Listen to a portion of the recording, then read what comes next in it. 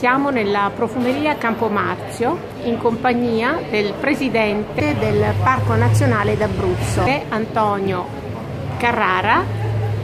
L'occasione è il lancio a Roma di un profumo che porta il nome di Parco 1923. 23, proprio perché è dedicato È dedicato al Parco Nazionale d'Abruzzo Lazio e Molise.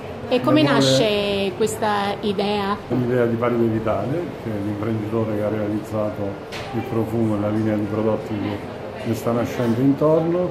Paride è nato e vissuto nella sua giovinezza a Pescasseroli, anche se oggi vive fuori, e da questa sua idea l'ha proposta al parco, il parco ha deciso di sostenerla in qualche modo, di associare il nome del parco a questo profumo, che è un profumo realizzato volendo ricreare gli odori di una passeggiata nel parco d'Abruzzo, quindi con le piante specifiche che si trovano nel parco.